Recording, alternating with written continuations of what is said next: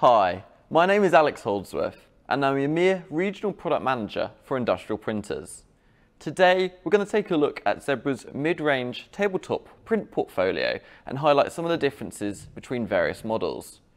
There are four printers in this class, the ZT220, the ZT230, the ZT411 and the ZT421.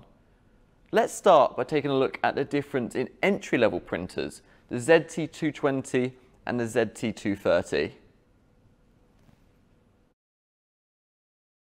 The popular ZT230 has an external metal case, unlike the ZT220, which has a plastic external case. The ZT230 has a black and white LCD screen, which has an icon-based user interface and full keypad. However, the ZT220 has a simpler free button control. Both have a row of five LEDs for status. The ZT230 supports a 450 metre ribbon capacity like the rest of the industrial portfolio, whilst the ZT220 supports a 300 metre ribbon. Both printers are full LinkOS printers supporting the same applications. Now let's take a look at the next model up in the industrial print range, the ZT411, and compare this to the ZT230. The ZT400 series is the most popular industrial printers we sell, and the newest model is the ZT411, which features a colour touch display, as you can see here. This is the most obvious external difference between the two models. The touchscreen on the ZT411 makes this printer easier for the operator to use with tools such as guided wizards. The ZT411 also supports dual USB host ports for connecting memory sticks, keyboards and scanners to the printer, which isn't supported on the ZT230. The ZT411 has a top speed of 14 inches per second compared to the ZT230, which has a top speed of 6 inches per second. The ZT400 series also has a 6-inch wide model and can support 600 dpi printing for high-resolution printing applications.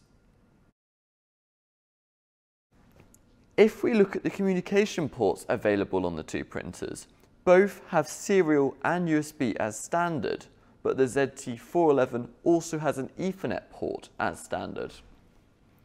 Both models support the standard industrial I.O. cards. The ZT230 supports one I.O. card, whereas the ZT411 supports two. As you can see here, the slot on this ZT230 is taken up with an Ethernet port. As Ethernet is standard feature on the ZT400 series, there is a space to install a wireless option as well as an additional I.O. card. This therefore gives the potential to add an applicator port which is now available on the ZT400 series. Looking at the inside of both models, you can see a similar side-loading media design for ease of use. The ZT411 has an illuminated media path which makes working in darker environments easier. The ZT230 has a 1-inch media hanger as standard, whereas this is optional on the ZT400 series. This allows the entry-level ZT200 series to migrate up from a desktop printer as it uses the same media commonly found there. The ZT200 series also supports the standard 3-inch core media. The ZT411 has twice the memory capacity for storage of formats and fonts, for example. It also has an RFID model available. Whatever your business needs are for a mid-range industrial printer, Zebra has a model that will suit your budget and requirements.